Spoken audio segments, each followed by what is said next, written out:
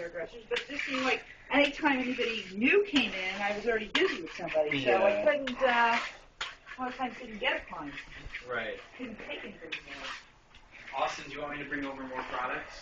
Um, Or well, we should probably have it full.